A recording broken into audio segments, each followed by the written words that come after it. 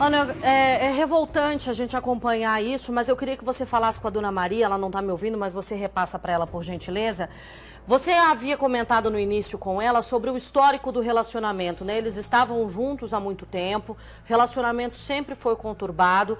Eu queria saber como é que esse homem se comportava com a família, se ele direcionava essas ameaças e essa violência para os familiares dessa vítima também.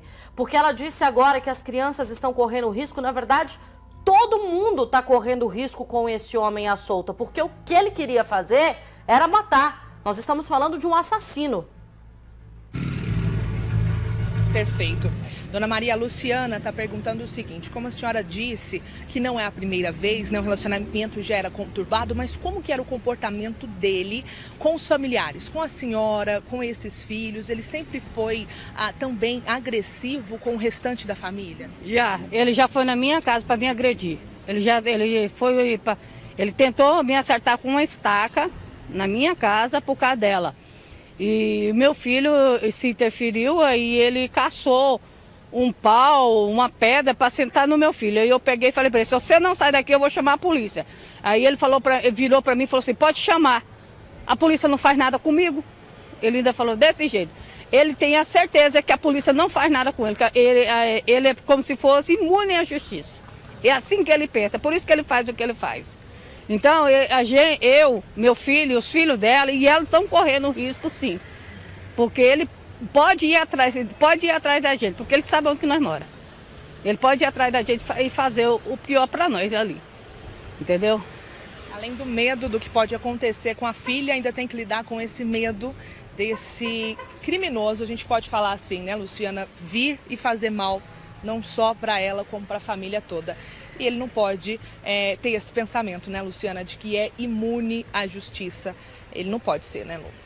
De forma alguma e não é. A gente tem que, infelizmente, seguir o que determina a lei e pelo fato de não ter nenhum mandado de prisão expedido contra esse homem, ou pelo fato dele também não ter sido preso em flagrante, porque o espertão se apresentou depois do período de 24 horas, a gente não pode mostrar a cara do vagabundo. Mas a vontade era de esplanar aqui para toda a região, principalmente para quem é ali de Patos de Minas, que está acompanhando essa família no hospital, para quem é de Brasilândia de Minas, que conhece a família, para todo mundo da região, para explanar e mostrar a verdadeira face de um assassino. Um homem que se fantasia de bom moço, que se fantasia de bom marido, de bom padrasto, de bom companheiro, mas que dentro de casa é o verdadeiro demônio. Ele, não aceitando a separação, foi para cima da ex, a golpeou várias vezes. Essa mulher está internada, lutando pela vida. Ela que chegou na unidade hospitalar ontem e até agora não recobrou a consciência, porque, segundo o que foi apurado, além das facadas, ela tomou uma pedrada na cabeça. Ele pegou uma pedra, jogou na cabeça dela e acabou causando uma lesão que não foi neurológica, ao que tudo indica, segundo o médico, mas ela continua em observação. Ela que foi acordada, foi socorrida, aliás, ela que foi socorrida cerca de uma hora depois das violências sofridas, porque ele largou essa mulher agonizando em frente a um dos locais que ela trabalhava. Ela que está se dividindo entre dois empregos, isso tudo para pagar as custas do advogado que está cuidando da ação do divórcio. Quando a mulher cria forças, quando ela cria coragem para sair de um relacionamento abusivo, para se livrar desse monstro com quem ela convivia, ela não tem sequer o direito de viver em paz. A, a, quando uma mulher é vítima de um relacionamento abusivo, ela não tem o direito nem de terminar o relacionamento. É nessas horas que a gente fala, deve ser muito bom ser homem. Porque quando o homem termina o relacionamento, vida que segue. Quando a mulher termina o relacionamento, a gente ainda corre risco de ser morta. E foi isso que aconteceu com ela. 30 anos, mãe de três crianças. Uma mulher que luta agora pela vida e um assassino à solta. A culpa é da Polícia Civil? De forma alguma.